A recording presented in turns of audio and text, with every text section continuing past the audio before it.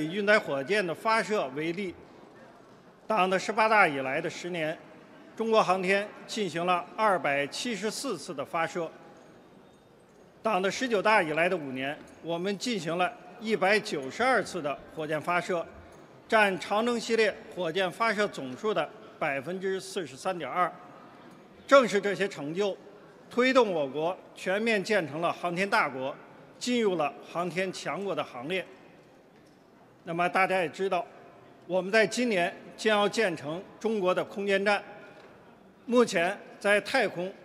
空间站已于九月底完成了问天舱的转位，等待着梦天实验舱和它交会对接。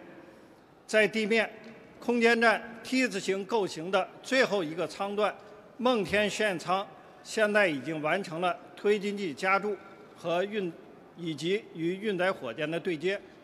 用于发射的长征五号 B 运载火箭各项准备工作目前正常，那么本月底就具备发射梦天舱实施交会对接的条件。那么在今年底呢，我们还将发射天舟五号货运飞船和神舟十五号载人飞船，那么实现六名航天员同时在空间站工作。